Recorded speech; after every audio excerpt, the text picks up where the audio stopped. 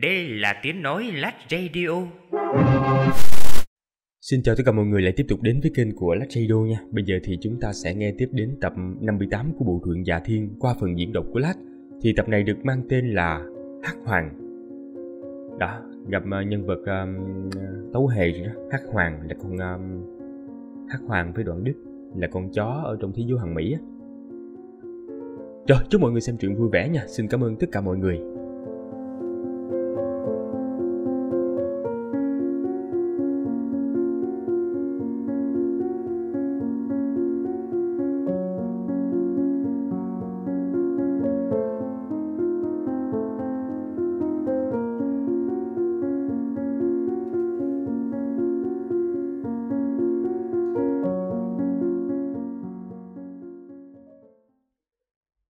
Tiếng kêu chém giết ở tiền viện vẫn phát ra không ngừng. Một con sinh vật cả người được một bộ lông trắng bao phủ đang huyền phù ở không trung.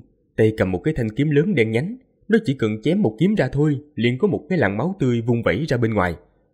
Con sinh vật này dũng mãnh đến mức không thể ngăn cản, ngay cả trưởng lão bí cảnh tứ cực cũng không thể chống đỡ. Con sinh vật kinh khủng này giết người không chớp mắt, cứ xông thẳng vào chém giết, đánh đầu thắng đó, không gì cản nổi. Chẳng lẽ là ta đã suy nghĩ quá nhiều sao? Thực sự là sinh vật trong mỏ cổ Thái Sơn chạy tới hả? Nhưng vì sao con sinh vật màu xám tro kia lại chạy tới chỗ của ta? Diệp Hàm cẩn thận nhớ lại rồi lấy một cái miếng ngọc màu xanh hình con rùa. Miếng ngọc này tản phát ra ánh sáng ống ánh. Ngoại trừ cái này ra, hắn không thể nghĩ ra được nguyên nhân nào làm cho con sinh vật này tới đây chém giết hắn như vậy cả. Giết! Thái thượng trưởng lão trở lại, có người hô to, mọi người không còn sợ hãi nữa. Cùng một thời gian, các thế lực lớn khác ở trong Nguyên Thành cũng chạy tới giúp đỡ. Tiếng kêu giết vang lên khắp nơi, rất nhiều người đang chạy tới nơi này. Diệp Hàm lại biến thành đạo sĩ rồi nhanh chóng chạy tới chỗ của Lý Đức Sinh, quát hỏi. Người nhìn cẩn thận cho ta, coi thử con sinh vật lông trắng kia có phải là cái sinh vật mà chạy ra từ bên trong cấm địa Thái Sơ không? Lý Đức Sinh run rẩy, nhanh chóng đưa mắt nhìn về phía chân trời. Nhưng mà con sinh vật được lông trắng bao phủ kia lại sắp biến mất, tốc độ nhanh đến nỗi làm cho Diệp Hàm khiếp sợ. Thái thượng trưởng lão Diêu Quan Thánh Địa cũng không đuổi theo. Có đúng là sinh vật từ cấm địa Thái Sơ chạy ra không vậy? Nó, trên người nó có sương mù thần bí bao phủ, ta không thể chắc chắn được, nhìn, nhìn không có rõ. Âm thanh Lý Đức Sinh run rẩy, Diệp Hàm lấy tay đẩy Lý Đức Sinh ra, rồi không kéo dài thời gian nữa. Vội vàng tới một cái chỗ khuất hóa thành một thiếu niên xa lạ. Sau đó thừa dịp các thế lực lớn ở trong Nguyên Thành đến giúp, hắn thoát khỏi tiểu viện này. Dù cho con sinh vật màu xám tro kia đang âm thầm nhìn trộm, hắn cũng không cần lo lắng nữa. Tình thế bây giờ rất hỗn loạn, người ra vào rất nhiều, hắn cũng không phải là người duy nhất rời khỏi tiểu viện này. Thánh vật mà đại đế thượng cổ ao ước dùng để tế binh, thực đúng là làm cho người ta sống không yên ổn mà. Diệp Phàm cảm thấy đối phương không phải là sinh vật bên trong cấm địa Thái Sơ, rất có thể là có người mạo danh. Vì ham muốn hoàng huyền xích kim nên đã tới đây đại khai sát giới. Lão đau cầm, diêu quan thánh tử, hay là... Diệp Phàm nhớ lại những việc đã xảy ra. Con sinh vật màu xám tro kia cầm một cái thanh kiếm máu lớn dài khoảng hai thước, rộng khoảng một thước. Nó chỉ cần chém ra một kiếm thôi là đã chém nát trưởng lão Diêu Quan Thánh Địa và Giao Trì Thánh Địa rồi. Uy thế kinh khủng đến nỗi làm cho người ta phải phát rét. Lão đầu cầm ẩn giấu rất sâu, không thể nào đoán được thực lực của lão ta cao sâu như thế nào. Diêu Quan Thánh Tử đạt tới bí cảnh thứ ba, thiên tử ngút trời, chiến lực có thể so với thần vương cùng giai. Những người đạt tới bí cảnh tứ cực thì gần như là không phải đối thủ của gã. Về việc một người hóa ra hay thì càng không phải là vấn đề. Trừ dịp hàm ra, những tu sĩ khác khi đạt tới cảnh giới đạo cung đỉnh phong trong thân thể đều có năm vị thần. Một đêm này, Nguyên Thành không còn yên lặng nữa. Diêu quan thánh địa chết 27 người, bao gồm 4 tên trưởng lão bí cảnh thứ ba. Giao trì thánh địa vẫn lạc 18 người, trong đó có hai trưởng lão đạt đến bí cảnh tứ cực. Tổng cộng có khoảng 45 tu sĩ bị chém giết, tất cả đều là một kiếm mất mạng, không có người nào kháng cự được thanh kiếm lớn đỏ như máu hay thanh kiếm màu đen ấy. Hai con sinh vật kia chỉ vừa lướt qua thôi đã làm cho hai đại thánh địa tổn thất nghiêm trọng. Trời vừa sáng tỏ, tin tức này liền làm chấn động cả khu vực rộng lớn. Truyền tới các khu khai thác mỏ, có rất nhiều thái thượng trưởng lão diêu quan và giao trì thánh địa vội vàng chạy tới đây. Dám động thủ với thánh địa, dám dùng đao máu để huyết tẩy trong một đêm, tin tức này tuyệt đối làm cho người ta phải khiếp sợ. Rất nhiều thế lực lớn ở Bắc Vực cũng bị kinh động. Dư quan thánh địa chết nhiều người như vậy, rất có thể là do lão đầu cầm xuất thủ rồi. Diệp Phàm kinh hãi. Sau khi trời sáng, hắn liền đi tới phía Nam Thành. Căn nhà tranh đổ nát vẫn còn nơi đó, nhưng người không còn ở đây nữa, khung cảnh rất yên tĩnh. Chẳng lẽ cái lão già này là người đã hạ thủ thực sao? Diệp Phạm quen tay, dùng tay vuốt cầm một chút. Hắn ở lại Nguyên Thành yên lặng theo dõi cuộc phong ba này, liên tục thấy có các đại nhân vật của hai thánh địa chạy tới mà xem xét. Mảnh nước ngầm ở khu vực này bắt đầu chuyển động, không còn bình tĩnh nữa. Ba ngày sau, Diệp Hàm rời khỏi Nguyên Thành, hắn không muốn chờ đợi ở đây nữa, rời xa nơi thị phi mới là thượng sách. Nếu như muốn vào giao trì thánh địa thì còn rất nhiều biện pháp khác, nhưng hắn không thể sử dụng thân phận đạo sĩ nữa. Thân phận ấy của hắn bây giờ là người có vực dành riêng của đại đế, hoàng huyết xích kim. Tin tức này mà truyền ra ngoài chắc chắn làm thiên hạ chấn động, và hắn sẽ bị người khác truy sát.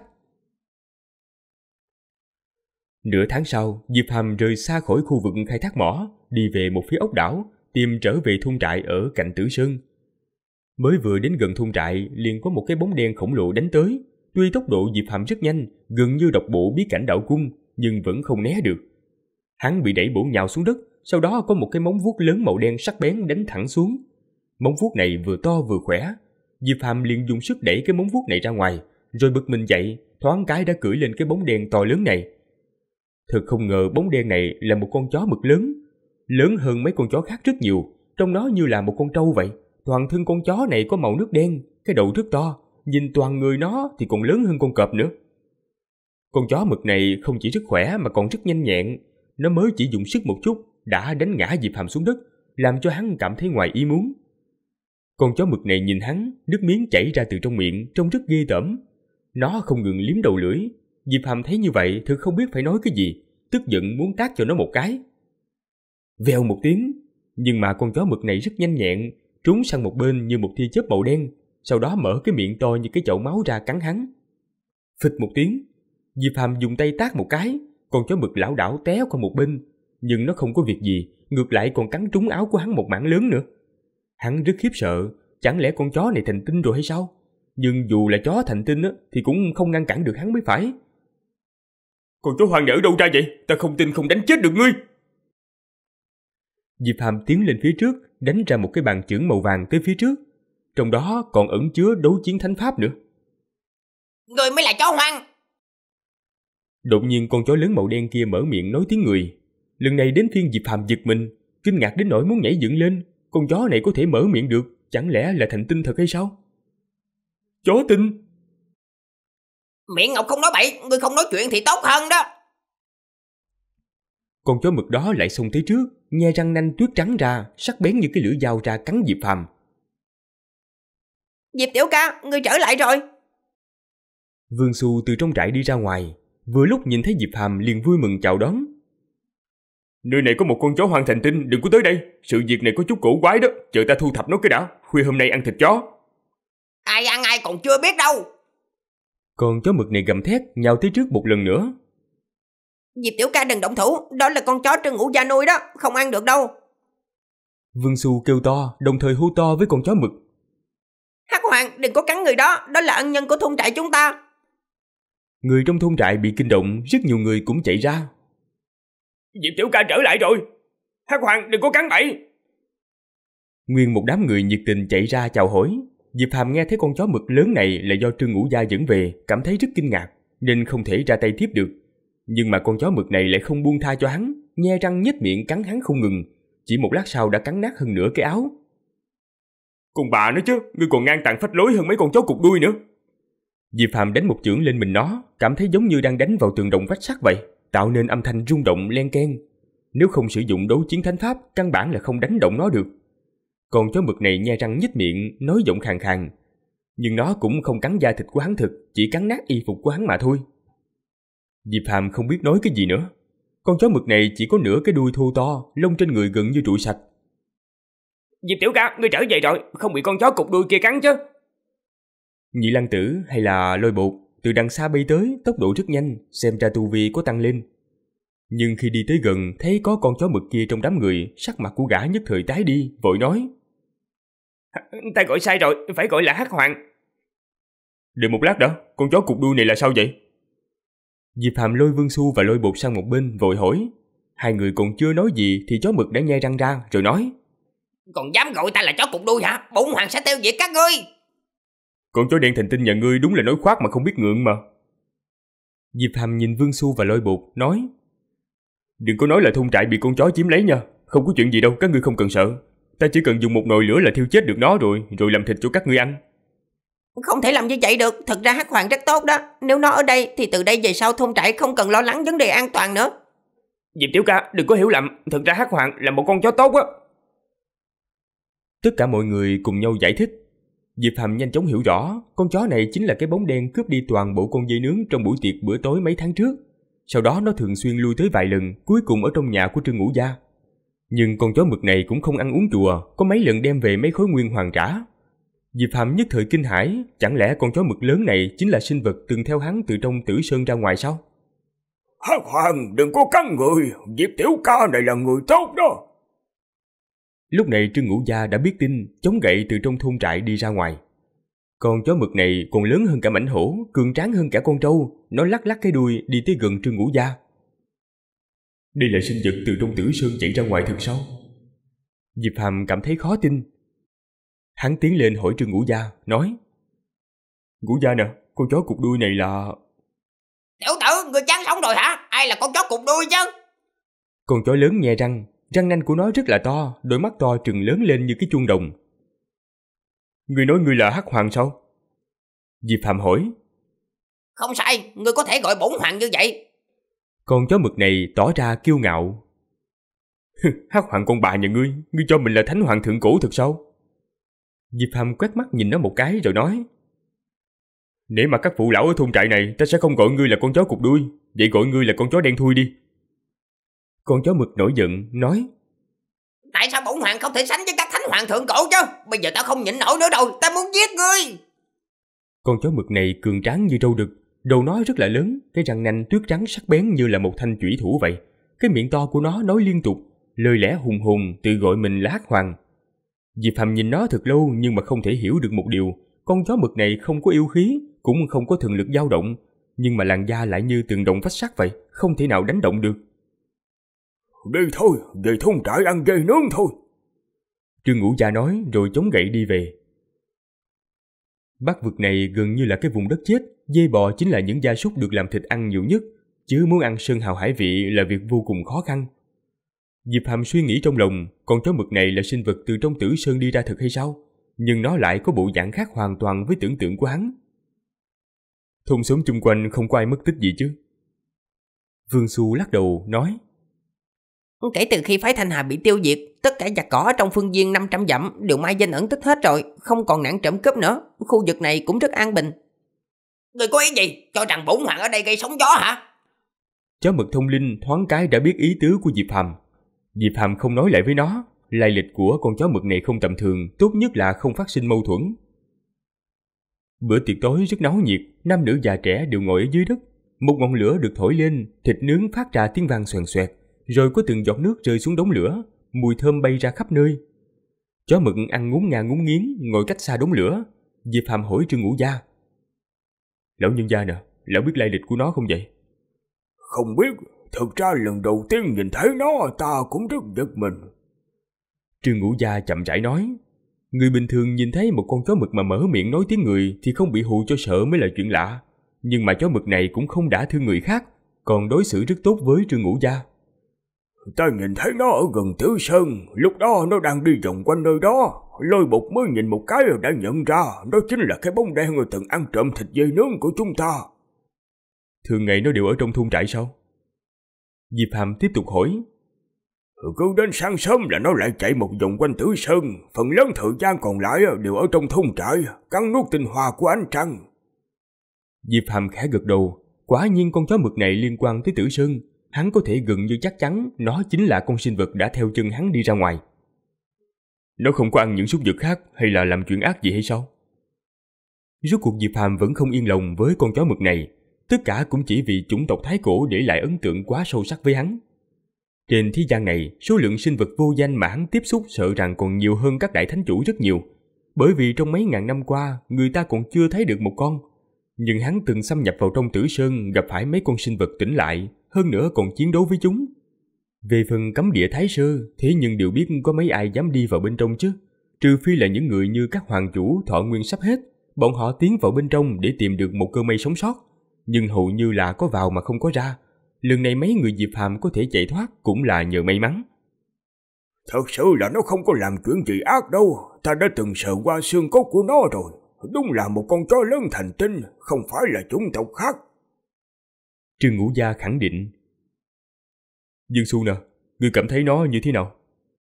Không thể nói được, cảm giác không giống như một con chó, tính cách của nó không khác gì người thường cả.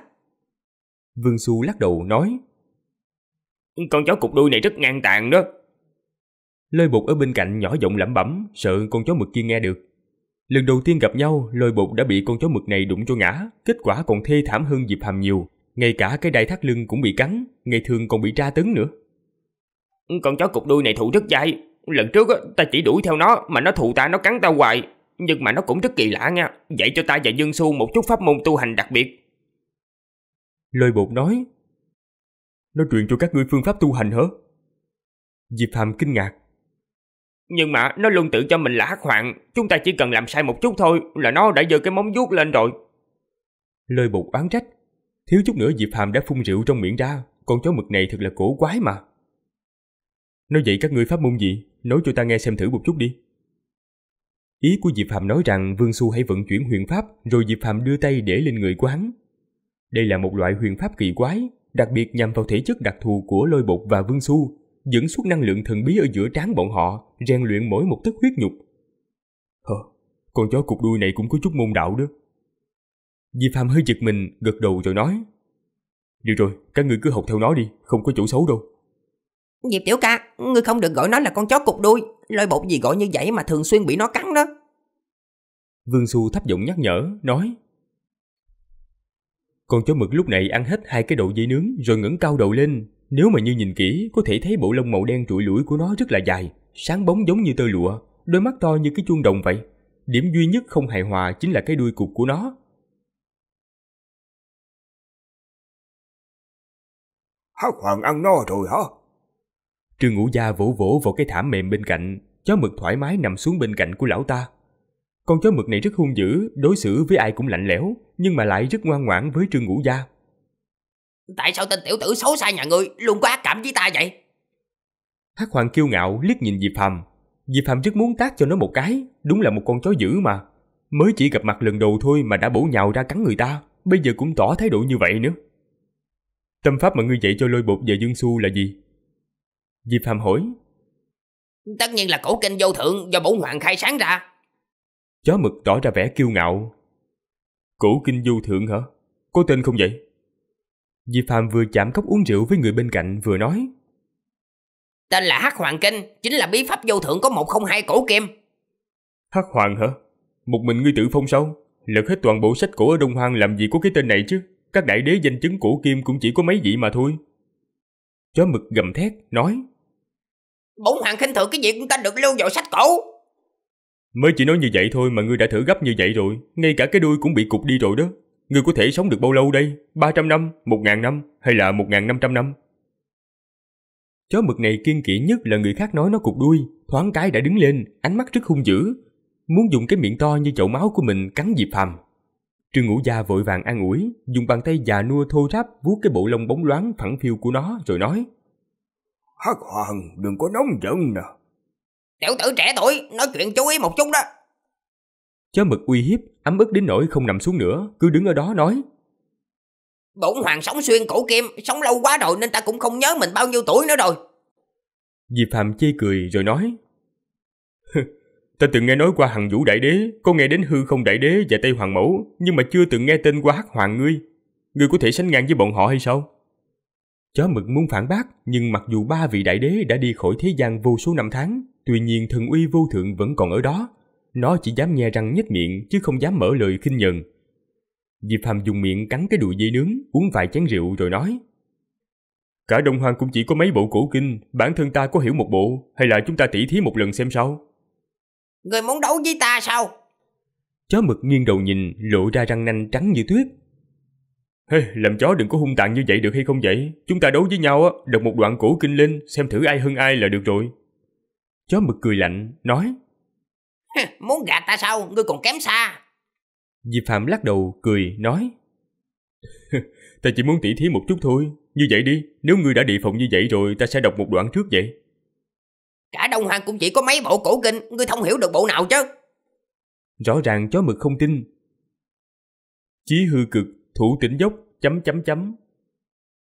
Thân sắc Diệp Phàm trịnh trọng nói ra một đoạn. Đoạn kinh này đúng là một đoạn trong cổ kinh, tất nhiên là không trọn vẹn, và chính là tâm pháp của hư không cổ kinh cơ gia. Ngoài đại hư không thuộc ra, Diệp Phàm cũng lấy được vài đoạn tâm pháp. Đây là cổ kinh vô thượng do hư không đại đế thượng cổ khai sáng ra khi xem vạn vực, nắm bắt được cái bất biến ở trong vĩnh hằng. Thật không ngờ ngươi cũng hiểu được một chút đó, không giống như là mấy tên muốn học trộm bí điển vô thượng của ta. Chó mực chớp chớp đôi mắt rồi nói. Ngươi nghe cho kỹ nè, ta sẽ đọc cho ngươi một đoạn trong hắc hoàng kinh của ta. Tốt, ta rửa tay lắng nghe. Diệp Phạm yên lặng, cẩn thận lắng nghe. Thông dân nhật nguyệt, chiếu sáng thần linh. Chó mực đọc lên một đoạn, quả thực vô cùng khó hiểu, rất thâm ảo. Nhưng mà càng nghe Diệp Phạm càng cảm thấy không ổn. Đây không phải là pháp môn nhân tộc có thể tu hành được, rõ ràng là pháp môn của yêu thánh. Nào khoan đã, cái pháp môn tu hành của ngươi con người đâu có tu được. Tỷ thí như vậy rõ ràng vô nghĩa mà. Diệp Phạm kêu nó dừng lại. Cổ kinh bổn hoàng khai sáng tất nhiên thích hợp bổn hoàng tu hành, chứ không phải sáng chế cho ngươi. Chó mực khinh khỉnh nhìn hắn một cái. Cổ kinh của ta danh chấn cổ kim, cả Đông Hoang cũng chỉ có mấy bộ sánh được thôi, ngay cả yêu thánh cũng có thể tham khảo nữa. Nhưng cái ngươi gọi là hắc hoàng kinh còn không được như vậy rồi. Tên tiểu tử hoành hoang, ngươi muốn dùng tay không bắt sói hả? Muốn lợi dụng ta để lấy những bộ cổ kinh khác chứ gì? Làm gì có chuyện dễ dàng như vậy chứ? Chó mực tỏ ra vẻ đã nhìn thấu được ngươi. Sai rồi, phải nói là tay không bắt chó mực. Lôi bột ở bên nhỏ giọng thì thầm. Gào một tiếng, tiếng kêu của chó mực làm cho lôi bột phải ngậm miệng lại. cổ kinh danh chứng cổ kim của ta là do hằng vũ đại đế khai sáng. Ta khinh thường nói cho ngươi nghe thử nè. Diệp Phạm lắc đầu thở dài nói. Đường cuối tiên lộ ai là đỉnh, vừa thấy hằng vũ đạo thành không. Miệng ăn nói bậy bạ, cổ kinh của ngươi rõ ràng là hư không cổ kinh của cơ gia, là hư không đại đế sáng chế, sao lại nói của hằng vũ chứ? Dường như chó mực rất kích động, nó nói. Rồi nói tiếp, tại sao lại nói vừa thấy hằng vũ đạo thành không hả? Ta thừa nhận rằng hằng vũ đại đế là một trong những người mạnh nhất từ trước đến nay, nhưng mà câu nói kia không phải là của ông ta.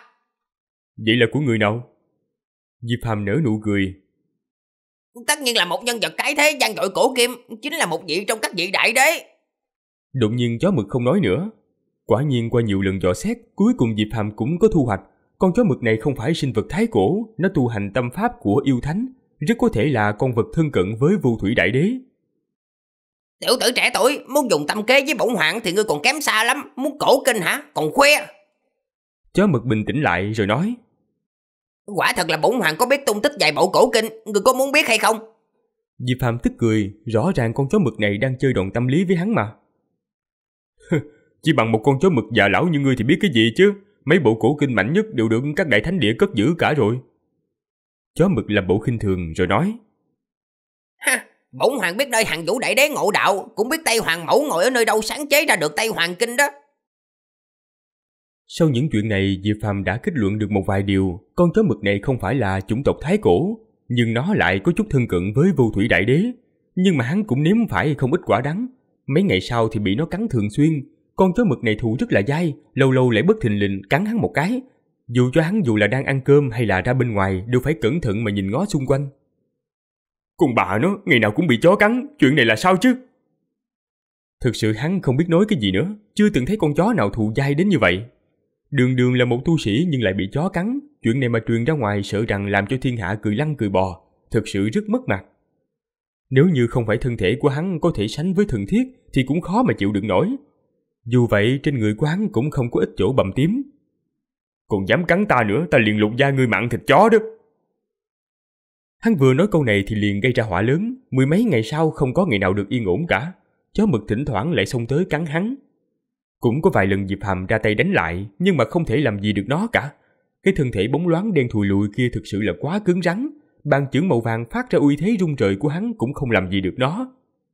Con chó này được đúc từ cái gì ra vậy? Thật là quá biến thái mà. Điều duy nhất Diệp Phàm cảm thấy may mắn là chó mực không cần biết chuyện gì xảy ra liền lao vào cắn xé, vô giết, nhưng tuyệt không thi triển pháp thuật, thậm chí cũng không thể bay lên trời. Thật là quái lạ mà, một con chó yêu tộc bình thường cũng biết bay mà.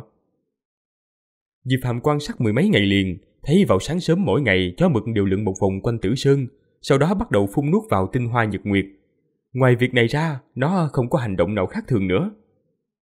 Hắc Hoàng, ngươi tu luyện kiểu gì mà bay cũng không biết vậy? Uy thế vô thượng của ngươi đâu rồi? Chó mực liếc mắt nhìn hắn rồi nói. Đại đạo của tao huyền diệu khó lường, cảnh giới đã đạt đến mức phản phát quy chân, làm sao mà ngươi hiểu được chứ? Đừng có hòng mà có ý đồ với ta. Rõ ràng kinh văn của ngươi không thích hợp để nhân tộc tu hành, tao có ý đồ với ngươi làm gì? Di Phạm cảm thấy con chó lớn này rất cảnh giác, muốn lấy được lợi lộc gì từ nó thì còn khó hơn đi lên trời nữa. Đừng nghĩ ta không biết ngươi đang muốn làm gì. Chó mực nghển cái đầu to lớn lên, tỏ vẻ kiêu ngạo rồi nói. Muốn ta nói cho người biết hả? Chuyện vẫn chơi sao? Mau mau từ bỏ hy vọng diễn trong đó đi. Diệp Phạm sờ sờ cầm, cảm thấy đã hết cách đối phó với yêu nghiệt này rồi. Nó sống lâu quá nên khôn hơn cả người rồi. Cũng không phải là không thể có cổ kinh, chỉ cần đưa ta một khối thần nguyên là được rồi. Diệp Phạm nghe như vậy muốn đập nó một trận, nói Sao ngươi không nói ta đưa tất cả nguyên trong mỏ cổ thái sơ cho ngươi ăn luôn đi? Còn muốn thần nguyên nữa hả? Cái đó ta còn chưa được nhìn thấy nữa kìa. Vậy thì miễn bàn. Chó mực nghiêng đầu nhìn hắn một cái rồi nghênh ngang rời đi. Thực ra ta có biết tung tích cổ kinh của một vị đại đế yêu tộc.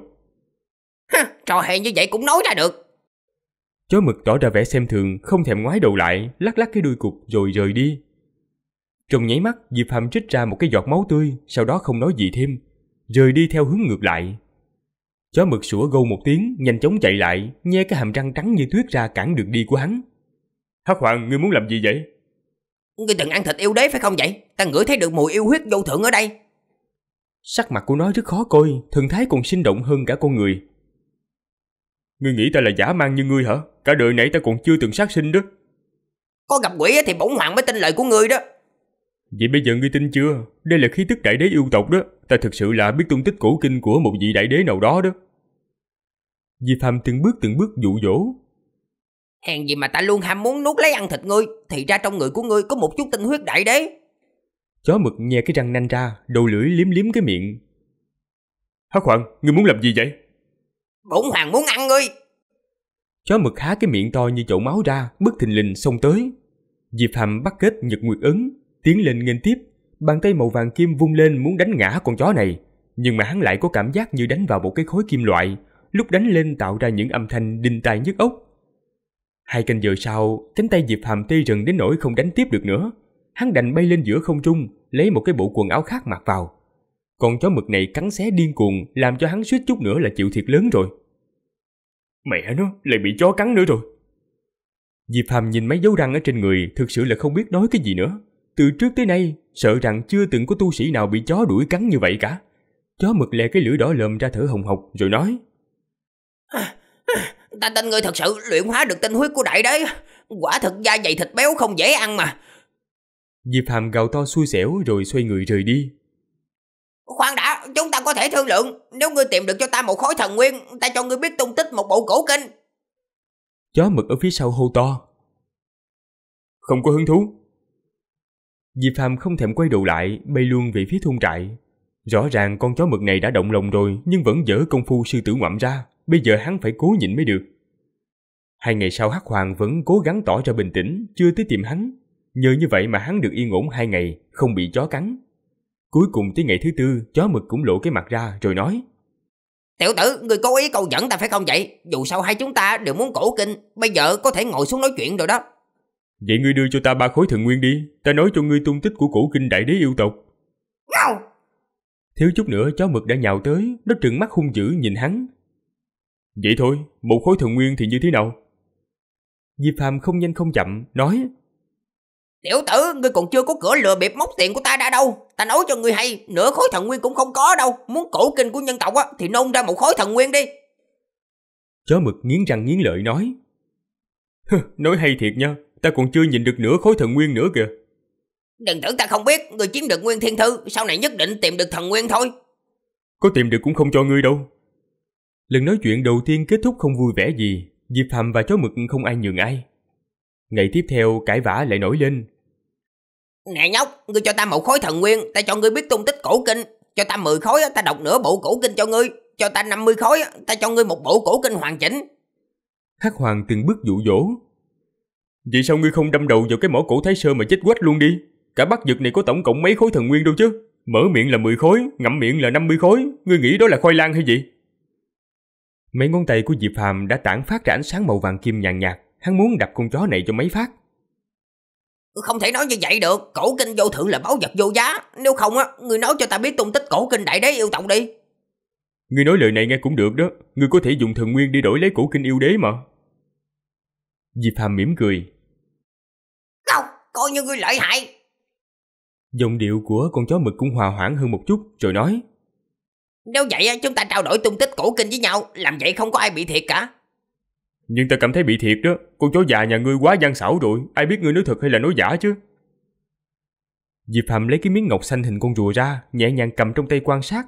Hắn cố ý làm như vậy, bởi vì hắn thấy lai lịch con chó mực này rất thần bí, hắn muốn xem thử đối phương có nhìn ra được cái gì hay không. Kết quả còn hơn cả dự kiến của hắn nữa.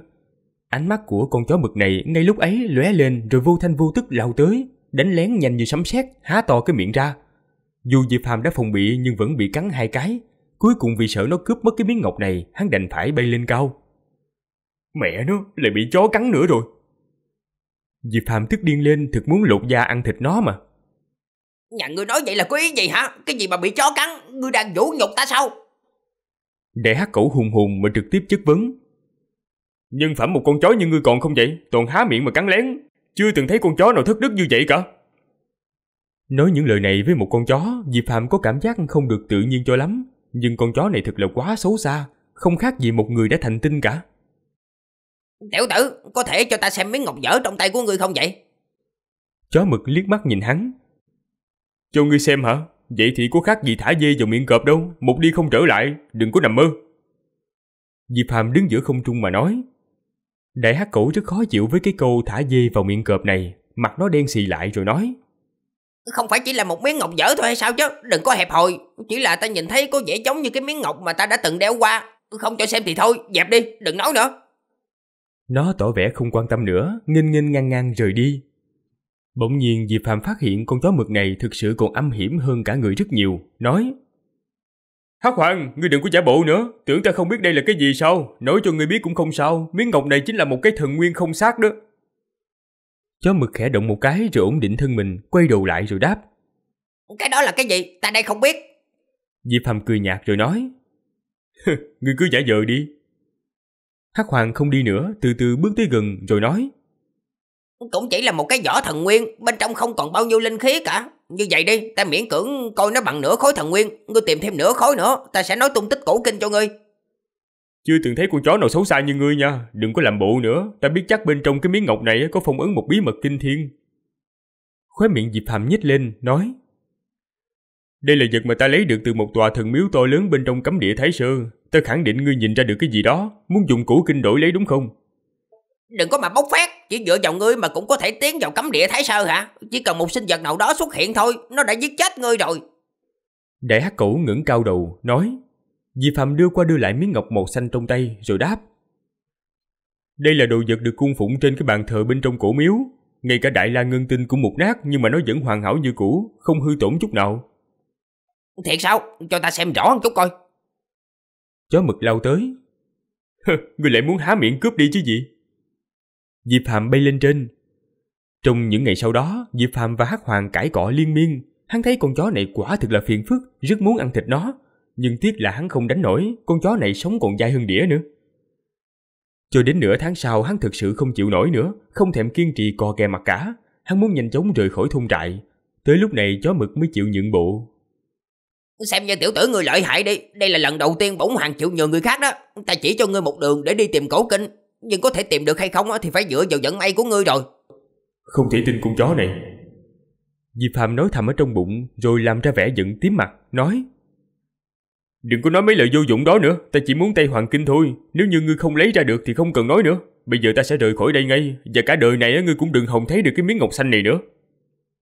Sắc mặt chó mực biến đổi liên tục, nói Tiểu tử ngươi dắt mũi chưa sạch mà sao ác độc quá vậy chứ? Tại sao ta phải dẫn ngươi đi tìm cổ kinh trước? Tới khi ngươi đoạt được cổ kinh trong tay Thì mới cho ta con đồ xanh đó hả? Thật là quá bất công mà. Ta còn có danh dự đi bảo đảm. Còn ngươi hả? Ta không thấy danh dự ở đâu cả. Tình nhóc ngươi nói vậy là có ý gì? Muốn dội nước bẩn lên đầu ta sao? Vậy sau này chúng ta không nên gặp lại nữa. Diệp Phạm định xoay người rời đi. Người trẻ tuổi đúng là thiếu nhẫn nại mà. Thôi được rồi Đích thân bổng hoàng dẫn ngươi đi tìm cổ kinh vậy. Chó mực hùng hổ nói Nhưng trước hết phải nói cho rõ nha Nếu người lấy được rồi Thì nhất định phải đưa cái miếng ngọc xanh hình con rùa cho ta đó. Được thôi Không thành vấn đề. Diệp Phạm gật đầu đồng ý. Còn tung tích cổ kinh đại đế yêu tộc nữa Cũng phải nói cho ta biết. Chó mực bổ sung. Chuyện này cũng quá đơn giản thôi. Diệp Phạm đáp. Tiểu tử ngươi tự nhiên dễ dàng đáp ứng như vậy Phải chăng có âm mưu gì khác hả? Ta cũng nghi ngờ ngươi là một con chó đen thui Hay là một con hồ ly đen thành tinh đây nào, Nếu như còn dám khinh thường bổng hoàng Ta sẽ cho ngươi biết tay Hắc Hoàng uy hiếp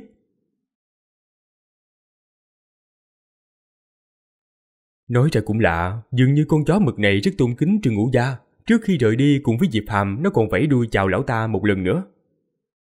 Lúc này Diệp Hàm lại thi triển thuật cải thiên hoán địa, hóa thân thành một người thiếu niên, hình dạng hoàn toàn đổi khác. Chó mực ở bên cạnh khinh khỉnh cười lạnh rồi nói Giờ nhìn là biết ngươi đã từng làm đủ chuyện xấu Đi ra ngoài đều phải làm như vậy. Rốt cuộc đã làm bao nhiêu chuyện thương thiên hại lý rồi. Đừng có nói lời vô vị nữa Nhanh đưa ta đi tìm củ kinh đi. Di Phạm cảm thấy con chó mực này rất khó đối phó. Trước tiên đưa ta đi dạo một vòng quanh thành cái đã. Hắc Hoàng ngẩng cao đầu Phóng mắt nhìn khắp mặt đất đỏ nâu. Không có chuyện gì thì đi quanh thành làm cái gì chứ? Chúng ta không phải là đi du lịch đâu Mà là đi tìm Tây Hoàng Kinh. Không phải người đã nói lúc Tây Hoàng Mẫu sáng lập kinh này Đã khắc lên một vách đá dựng đứng hay sao Bổn hoàng đã lánh đời nhiều năm rồi, Đất đai sông núi đều có thay đổi. Làm sao mà nhớ rõ ràng được chứ? Ta cần đi dạo đây đó một chút, Rồi mới tìm lại được phương vị chính xác chứ. Cái đuôi cục của nó dựng đứng lên, Tỏ vẻ cao siêu. Người sống được bao lâu rồi? Còn bị đặt nói đất đai sông núi hoàn toàn đổi khác hả? Đúng là to mầm nói khoác mà. Diệp Phạm trợn mắt nhìn nó một cái. Cường đại như thượng vương cũng chỉ sống được mấy ngàn năm mà thôi. Tuổi thọ những người khác còn ngắn hơn rất nhiều. Cứ yên tâm đi Đợi ta lượn dài vòng rồi Đảm bảo có thể tìm được vách đá kia thôi. Chó mực hóa thành một cái tia chớp màu đen Chạy tới phía trước. Trong mấy ngày liền sau đó Một người một chó đã đi hết ba mươi mấy tòa thành trì. Chó mực cứ loanh quanh lẫn quẩn qua lại Giống như đang đi dạo vậy Nhàn nhã vô cùng. Tên nhóc nhà ngươi đúng là chuyện xấu nào cũng dám làm đó nha Ngươi cứ xem đi Chỗ nào trong thành á cũng có dáng hình của ngươi cả Còn được treo thưởng đến một ngàn cân nguyên á Trong một cổ thành có tên Trường Phong Diệp Hàm thấy được hình vẽ của hắn Chính là lệnh truy nã do cơ gia và dư quan thánh địa hạ lệnh truy bắt. Hắn đã từng nhìn thấy qua cái lệnh truy nã Diệp Hàm này ở nhà của lão đau cầm Hai cái hoàn toàn giống nhau. Chờ ta rảnh rỗi ta sẽ giết hết toàn bộ thế hệ trẻ tuổi tiến vào bắt vực của họ. Ngươi muốn lấy được Tây Hoàng Kinh trước Sau đó dùng bọn hắn để luyện tập hả? Chó mực nhìn thấu tâm tư của hắn. Ngươi vẫn chưa tìm được vị trí hay sao vậy? Đừng nói với ta là ngươi quên rồi đó. Nhanh lên đi Diệp Phạm đen mặt lại rồi nói Ta gần nhớ ra rồi Có thể bắt đầu lên đường rồi. Chó mực khẳng định Sau khi đi được mấy ngày Diệp Phạm cảm thấy không đúng. Rõ ràng con chó này đang dẫn hắn về hướng mỏ cổ Thái Sơ. Nè, ngươi tin chắc là không nhớ lầm chứ? Đây là đi hướng tới cấm địa Thái Sơ mà. Không sai, chúng ta đang đi đến châu trị cố địa. Chó mực đáp Diệp Phạm cũng từng nghe qua nơi ở cũ của giao trì thánh địa nằm cách mỏ cổ Thái Sơ chỉ hơn vạn dặm sau đó toàn bộ môn phái rời đi Bây giờ không có ai còn biết được nơi ở cũ của giao trì thánh địa ở phương nào Cũng không ai tìm được nó Có người nói lúc giao trì thánh địa rời đi Họ đã triệt để phong ấn nơi đó lại rồi Bên ngoài mỏ cổ Thái Sơ là một khu vực khai thác mỏ rộng lớn mênh mông. Nhưng dường như chó mực rất quen thuộc nơi này, nó quan sát địa thế sông núi một lúc, không ngừng tránh né các khu vực khai thác mỏ của các thánh địa, dẫn Diệp Hàm đi sâu vào bên trong. Tại sao giao trì thánh địa phải rút khỏi nơi đây vậy? Diệp Hàm hỏi. Thực ra có rất nhiều sách sử ghi chép lại giao trì năm xưa cách mỏ cổ Thái Sơ khoảng vạn dặm, nhưng lại không đề cập tới việc rời đi nơi này. Không ai biết được nguyên nhân cụ thể cả Ánh trăng mỏng manh như một cái làn nước lan tỏa khắp mặt đất. Diệp Phạm và Hắc Hoàng đã đi được mười mấy ngày, nhưng vẫn chưa tìm được nơi gọi là giao trì cố địa. Ủa, không đúng, giao trị cố địa là một dãy núi thanh lệ, quang cảnh xinh đẹp thoát trận, đúng là một cái ốc đảo mà, đáng lẽ nó phải ở nơi này chứ, sao bây giờ lại không thấy đâu rồi? Chó mực nghi ngờ. Ở dưới ánh trăng sáng là một cái mặt đất màu đỏ trải rộng bao la bát ngát không thấy điểm cuối, hoang vu vô tận. Đừng nói là một ngọn núi, chỉ là một tảng đá lớn thôi đã không thấy rồi. Hắc Hoàng ngửa mặt lên trời nhìn trăng, rồi lại nhìn cái vùng đất đỏ ngòm này, rồi nói. Nơi này bị phong ấn rồi, tiểu tử, ngươi nhanh chóng tìm thử xem, nếu như chúng ta tiến vào được một thế giới đầy hoa thơm cỏ lạ, chim hót déo giòn, nó không chừng sẽ có cơ duyên lớn đó. Bất chợt Diệp Phàm thấy kinh ngạc, hắn nhìn thấy xa xa cuối chân trời có một bóng người màu trắng đang bay lên. Giao trị phi tiên! Đôi mắt hắc hoàng bắn ra hai tia sáng rồi nói. Chúng ta đến đúng chỗ rồi đó, nhất định phải tìm ra chỗ phong ấn giao trị cố địa. Ta cũng muốn biết tại sao các nàng phải rời đi. Nhiệt độ giữa ban ngày và đêm khuya ở Bắc Vực khác nhau rất lớn. Mỗi khi ánh trăng trong trẻo lạnh lùng xuất hiện là lại có hàng khí lạnh thấu xương. Ở ngay đường chân trời có mấy thân ảnh màu trắng trông rất mơ hồ, cứ chớp hiện không ngừng. Mấy thân ảnh này phiêu miểu giống như tiên nhân rồi chậm chậm bay lên trời. Diệp Phạm lướt tới, lưu lại đằng sau mười mấy đạo hư ảnh, đuổi theo các thân ảnh màu trắng đó. Nhưng khi đến nơi, hắn không thể nhìn thấy được cái gì. Hắn đứng yên ở đó, ngước đầu nhìn lên tinh không vô hạn. Đó là cái gì? Hắn cảm thấy khó hiểu, mấy thân ảnh màu trắng đó cứ như vậy biến mất trong bóng đêm, không còn chút tung tích nào cả. Giao trị phi tiên. Chó mực đáp. Phi tiên hả? Diệp Phạm không hiểu được. Tiên, đây là một từ mơ hồ không thực đối với các tu sĩ, mặc dù luôn có truyền thuyết nói rằng trên đời này có tiên, nhưng lại không có chứng cứ xác thực nào. Có rất nhiều sách cổ ghi chép lại điều này, nhưng mà từ ngữ cũng rất mơ hồ. Không thể nói rõ được. Chó mực lắc đầu. Giao trị cố địa gần như là một xứ sở trong truyện cổ tích, thỉnh thoảng có kỳ cảnh phi tiên dưới đêm trăng, không có ai biết rõ kỳ cảnh này được sinh ra như thế nào. Lúc ở xa nhìn thì rất mông lung, mà khi đến gần thì kỳ cảnh lại biến mất. Theo truyền thuyết, đây là những tàn ảnh từ thời hoang cổ còn sót lại, rất có thể ở bên trong còn có câu chuyện nào đó. Không thể nào là tiên. Diệp Phạm không tin. Ta cũng không nói đó là tiên. Đôi mắt của Hắc Hoàng phóng ra ánh sáng màu xanh, khi ở trong đêm tối, trong đó không khác gì một con sói cả. Ngoại trừ đất đá ra, vùng đất trống trải này không còn gì khác. Sau nửa đêm tìm kiếm trong bóng tối yên tĩnh, Diệp Hàm và Hắc Hoàng không tìm được thứ gì. Năm đó giao trì thánh địa khai phái ở chỗ này, bởi vì nơi đây có núi xanh sông biếc, chính là kỳ cảnh hiếm thấy. Nhưng lúc này đây, nơi đây đã trở thành nơi hoang vu, trừ những hạt cát màu đỏ ra, không còn bất cứ cái gì khác nữa. Kỳ cảnh giao trì phi tiên đã hiện, chắc chắn nơi này là giao trì cố địa, nhưng dù có tìm kiếm như thế nào, Diệp Hàm cũng không phát hiện được điểm khác lạ. Ánh bình minh hiện lên, cả vùng đất màu nâu đỏ lấp lánh phát sáng sắc màu hồng hồng. Diệp hàm và Hắc Hoàng tìm kiếm nguyên một đêm, nhưng đừng nói là di chỉ, ngay cả một mái ngói đổ nát cũng không có nữa. Người đúng là nói láo quen thối mà, dám nói rằng ở đây có một bộ cổ kinh hả? Ngay cả một miếng gạch còn không thấy nữa. Người có biết câu làm việc tốt thường gian nan chất giả hay không vậy? Đó là cái thứ gì chứ? Là Tây Hoàng Kinh đó. Theo truyền thuyết thì chính là Tây Dương Mẫu đã khai sáng ra nó. Sao có thể dễ dàng nhận ra được chứ? Chó mực tìm lý do. Trước khi đến đây người nói hay lắm mà. Nói là cổ kinh được khắc trên một cái vách đá dựng đứng. Chỉ cần đến đây là tìm được. Giờ thiện sao đây? Chó mực xị mặt ra. Ấm ức đi qua một bên. Đôi mắt nó liếc quanh một hồi. Thật lâu sau mới nói.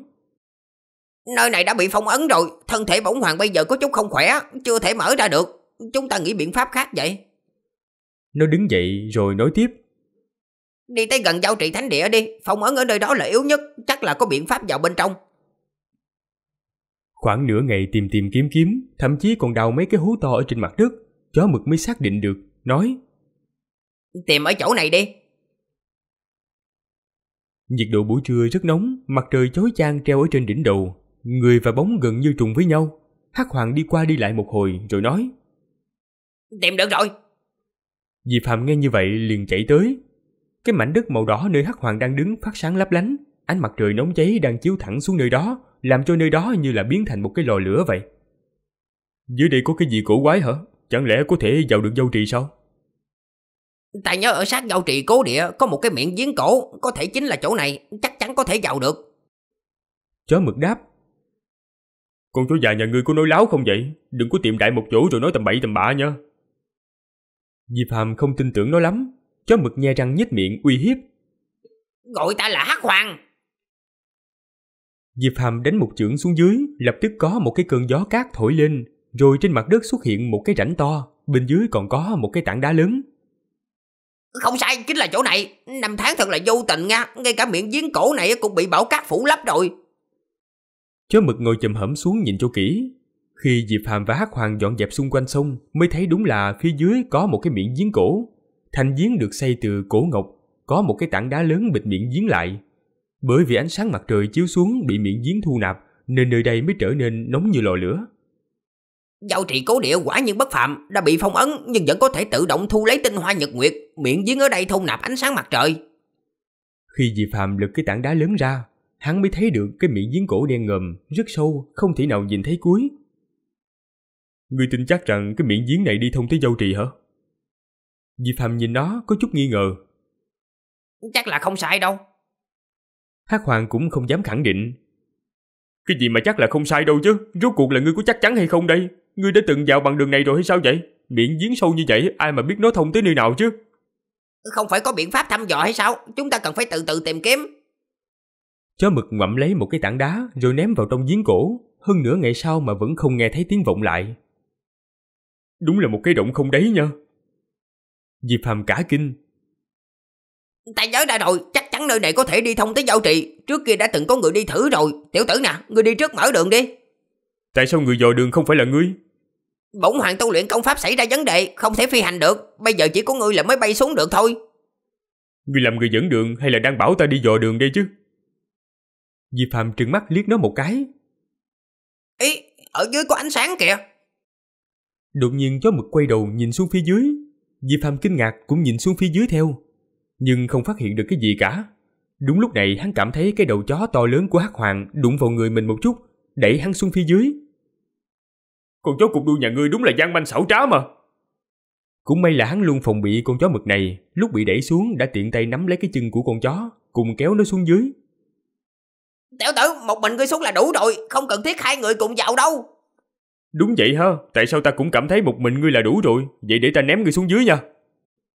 Dường như Diệp Hàm muốn buông tay ra thực, còn bản thân hắn sẽ bay lên trên lại. Ta không biết bay, tiểu tử ngươi mà dám buông tay, ta sẽ không để yên cho ngươi.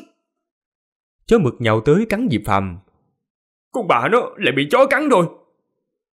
Rốt cuộc Diệp Phàm cũng không bay lên, cùng với Hắc Hoàng đáp xuống thăm dò đường đi.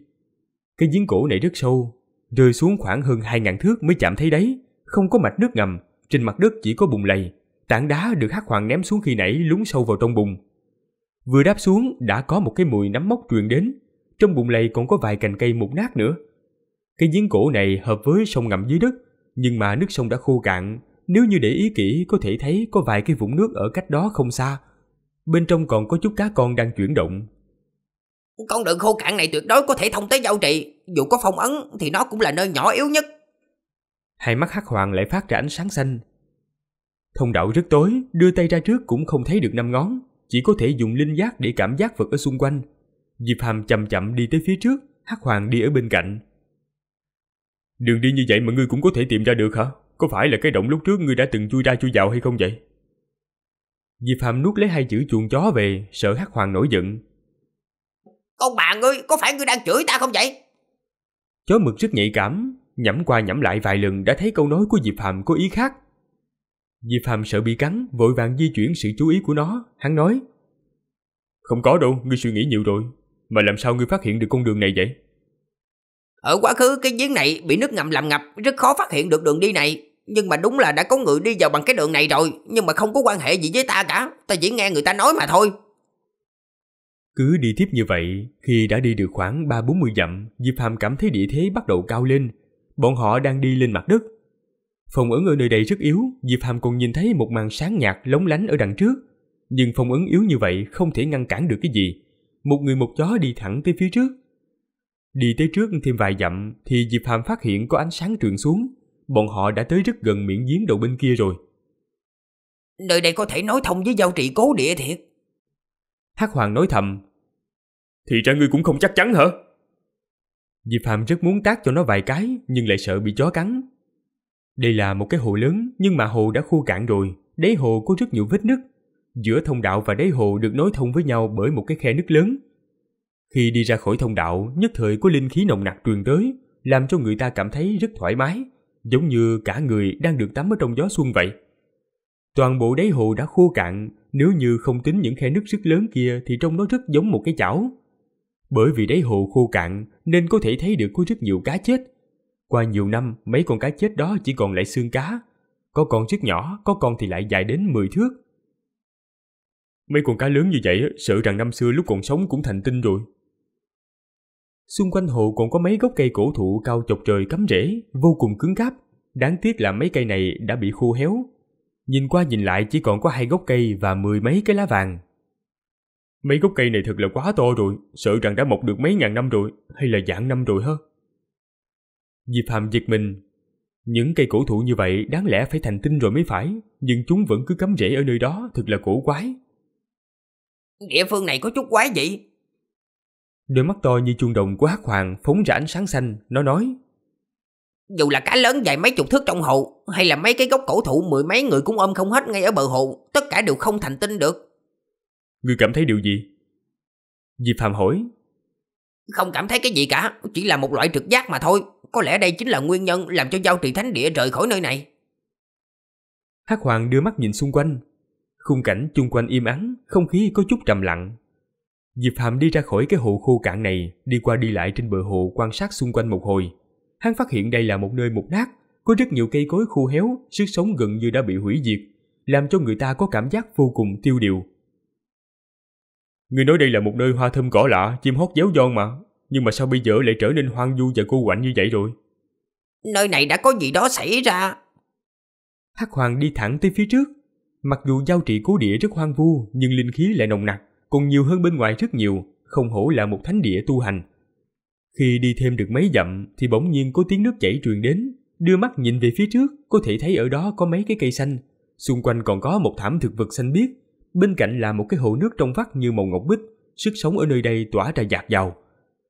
Cổ mộc khổng lồ, những cành cây vươn rộng lên trời cao, thân cây không khác gì một ngọn núi nhỏ cả. Những dây leo thô to quấn quanh như một con thương lông đang uốn lượn. Các loại hoa thơm cỏ lạ tỏa hương thơm ngào ngạt thấm vào cả ruột gan, trăm hoa cùng nhau khoe sắc, vô cùng vui mắt. Diệp Phàm cảm thấy cổ quái, làm sao lại tương phản đến mức như vậy chứ? Hai nơi cách nhau gần đến như vậy nhưng một bên thì tĩnh mịch, một bên thì lại tỏa ra sức sống bừng bừng như vậy, thật là quái lạ mà. Hắc Hoàng chạy tới phía trước, xuyên qua cái mảnh đất tươi tốt này, mới đi được thêm một ngàn thước, nó lại thấy một cái mảnh đất mục nát, khô cằn khác. Quái lạ, không thể nào là do nguồn nước được. Bọn họ tiếp tục đi tới phía trước, phát hiện khu vực này đã có tới 99% trở thành nơi khô cằn yên tĩnh. Chỉ có một số chỗ là còn sức sống, Cả dãy núi cũng như vậy, đa số trở nên trụi lủi, không có một ngọn cỏ nào. Chỉ có một vài ngọn núi là xinh đẹp hùng vĩ, thể hiện rõ cảnh non xanh nước biếc. Lại đi thêm tới trước 10 dặm, suốt cuộc cũng thấy được vài cái đình đài, nhưng mà chúng đã sụp đổ, dù cho bên cạnh có bố trí đạo văn, nhưng vì đã qua nhiều năm tháng, các đạo văn đó cũng không kháng cự nổi lực lượng ăn mòn vô tình của thời gian. Nhanh lên, gần đến trọng địa giao trị rồi. Cái đuôi cục của Hắc Hoàng dựng đứng lên, chạy nhanh tới phía trước, Hai người lướt nhanh qua từng dãy núi, rốt cuộc cũng đi tới một cái mảnh đất được tiên vụ bao phủ. Nhưng khung cảnh ở đây vẫn yên ắng, tất cả cây cỏ đều khô héo. Có thể thấy chung quanh có những cung điện tráng lệ, hoặc các đỉnh núi sừng sững, hoặc những thác nước hùng vĩ từ trên cao đổ xuống. Nếu như có thể khôi phục sức sống, nhất định nơi đây sẽ là một tiên cảnh hiếm thấy. Giao trì cung khuyết huyền phụ ở trên không trung cũng bị dời đi rồi, không còn cái nào cả. Hắc Hoàng nhìn tứ phương, Giao trì thánh địa có cổ thành vĩnh viễn không rơi xuống không vậy? Diệp Phạm hỏi. Tất nhiên là có một cái. Ánh mắt hắc hoàng lóe lên giống như đang tìm kiếm cái gì đó. Nó nói. Bay qua mấy cái sân lĩnh ở phía trước nữa mới đến khu vực trung tâm. Bọn họ nhanh chóng đi tới địa phương có sương mù lượn lờ ở phía trước, rời khỏi khu vực khô cằn này. Sau khi đi qua vài dãy núi, quang cảnh xanh tươi lại hiện ra trước mắt. Từng thác nước đổ xuống tạo nên những làn sương mù tươi mát các cung điện vô cùng mỹ lệ. Diệp Hàm có cảm giác mình đang đi vào tiên giới. Thiệt tốt quá, khu vực trung tâm không trở thành vùng đất chết. Hắc Hoàng xông tới phía trước. Rốt cuộc Tây Hoàng Mẫu khắc cái Tây Hoàng Kinh ở vách đá nào vậy? Diệp Hàm dục hỏi Hắc Hoàng. Mục đích đến nơi này của hắn cũng chỉ có cổ kinh đó thôi. Lúc này hắn đã không còn bình tĩnh được nữa. Người gấp gáp cái gì chứ? Đi tới nơi này trước đã. Trên vách núi xinh đẹp có từng đạo thác nước trụ xuống, thác nước màu bạc trải dài đến ngàn trượng, cảnh tượng vô cùng hùng vĩ, màu trắng xóa bao phủ lấy cả vách núi. xa xa còn có các cung điện ẩn hiện, cảnh đẹp giống như tranh vẽ vậy. Rốt cuộc ngươi muốn đi đâu vậy? Diệp Phàm hỏi. Tất nhiên là giao trị thánh hồ rồi, nhờ cái hồ đó mà nơi đây mới được gọi là giao trị đó. Cách đó không xa có một cái mảnh đất trống trải, chung quanh có vô số kỳ hoa dị thảo, còn có những tòa cung điện. Đây chính là khu vực trung tâm. Linh khí nồng nặc đến nỗi hóa thành những luồng khí màu ngọc bích lưu động. Ở ngày đó còn có một cái hồ nước mông lung. Chắc là nơi này. Hắc Hoàng vọt tới. Linh khí ở nơi này quả thực là rất nồng, dày đặc hơn những nơi khác rất nhiều. Chỉ cần đứng ở chỗ này thôi, có thể tự động hấp thu tinh khí thiên địa bổn nguyên, không cần vận chuyển huyền pháp nào cả. Hắc Hoàng lao vào trong cái hồ nước trước tiên. Hắc Hoàng, có phải trong hồ có gì không vậy? Nếu không có, tại sao ngươi lại nóng lòng như vậy chứ? Hắc Hoàng không đáp, nó vẫn bơi qua bơi lại trong hồ, sau đó lặn xuống phía dưới. Hắc Hoàng lặn xuống dưới nước được khoảng mấy phút đồng hồ sau, sau đó nó tru lên một tiếng, rồi trồi lên khỏi mặt nước, thần sắc rất sợ hãi. Ngươi nhìn thấy cái gì vậy? Diệp Phạm kinh hãi, không có gì, sung sướng quá thôi. Đây chính là giao trị thánh hồ. Tắm rửa trong hồ này có hiệu quả bất ngờ đó. Có thể làm giãn gân giãn cốt, tốc độ tu hành tăng lên rất nhiều. Tiểu tử ngươi cũng xuống thử đi. Ăn nói bậy bạ. Lúc nãy ngươi bị hù dọa đến nỗi sợ mất hồn như vậy. Chắc chắn dưới hồ đó có gì cổ quái rồi. Ngươi muốn ta xuống đó chịu xui xẻo chung với ngươi sao? Diệp Phạm đứng ở trên bờ hồ nhìn thẳng vào nó. Tính tình tiểu tử ngươi rất đa nghi. Lời nói bổn hoàng không đáng tin như vậy sao chứ? Chó mực nói Ngươi có nói thiệt bao giờ đâu chứ Mau lên đây nhanh đi Rồi đi tìm Tây Hoàng Kinh cho ta nữa Diệp Phạm thúc giục Nước ở Thánh Hồ này rất đặc biệt Từ trước tới nay chỉ có giao trì tiên tử mới được hưởng thụ thôi Đây chính là nơi các mỹ nhân tắm đó Lúc bình thường người ngoài đừng có nói là đi vào Muốn nhìn thấy còn không được nữa Ngươi không muốn xuống đây cảm thụ thử một chút sao Đột nhiên Diệp Phạm kinh hãi Hắn thấy trong nước có mấy bóng người bơi qua bơi lại Mấy bóng người này có màu trắng xóa Làm cho người nhìn thấy mà phải sợ hãi Hả? Con chó cục đuôi nhà ngươi quả nhiên không phải thứ tốt lành gì mà. Dường như Hắc Hoàng cảm ứng được cái gì đó, vội vàng nhảy ra khỏi mặt nước hồ rồi hô lên. Sao lại đuổi kịp rồi? Tại sao cũng có thể động đậy được? Con bà nó, con chó chết này, quả nhiên muốn ta phải chịu xui xẻo cùng mà. Diệp Hàm oán thầm. Hắc Hoàng vội vàng thoát ra khỏi mặt nước, sợ hãi đến nỗi cái đuôi cục cũng dựng đứng lên, rồi vội vàng chạy tới phía trước như điên. Ở dưới hồ nước có mấy thân ảnh mơ hồ bơi qua bơi lại, mái tóc đen của họ xõa thẳng xuống, Thân thể mặc một cái bộ y phục màu trắng, Diệp Phạm nhìn thấy sợ hết cả hồn hết vía, rốt cuộc đây là cái gì đây? Hết tập 58 của bộ truyện Dạ Thiên, xin cảm ơn tất cả mọi người đã lắng nghe giọng đọc của Lách Radio.